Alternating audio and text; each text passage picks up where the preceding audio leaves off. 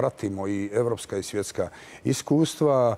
U, u, to ćemo uključiti znanstvenu zajednicu, dakle, naročito fakultet prometnih znanosti. Dakle, razmišljamo o tome što bi još dodatno eventualno moglo, moglo ovaj, utjecati na to da ti mladi vozači ne rade ne rade probleme u prometu, pa jedan od toga je i ta privremena vozačka dozvola, ali evo razmišljamo i radimo na tome.